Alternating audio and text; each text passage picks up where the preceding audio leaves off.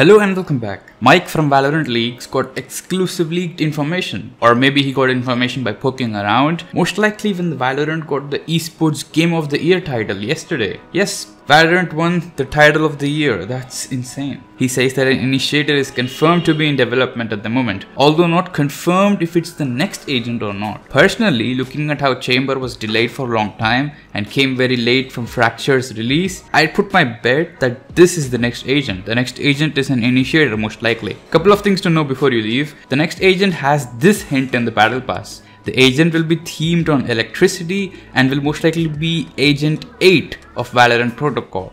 At least that's what the community thinks. Basically, each agent has a number assigned to them, and there is no agent number 8 in the agent's team. And maybe now we will get the lower information about it. Maybe agent 8 went MIA or something during an operation. So that's going to be interesting. We also got some leaked coordinates a while back pointing to Philippines, which may or may not be the coordinates for the next agent, but you just keep this with you in case they don't tease anything about the next agent ever again. And that's it. I'll catch you all in the next one.